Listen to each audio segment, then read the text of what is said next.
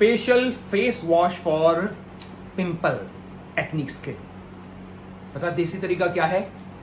जो हम लोग टूथपेस्ट यूज़ करते हैं ना ब्रश करने के लिए, आप लोग लेंगे व्हाइटनिंग टूथपेस्ट है? व्हाइट वाली टूथपेस्ट और उसमें डालेंगे आप सॉल्ट और रेशियो क्या होगा? वन इज़ टू वन मतलब जितना टूथपेस्ट व्हाइट वाला, इतना सॉल्ट और रोज मॉर्निंग में इससे हम लोग वॉश करेंगे अपना फेस देखा? और इसको हम लोग करेंगे हफ़्ते में दो बारी। आपके पिंपल गायब। और क्या यूज़ करने वाले हैं?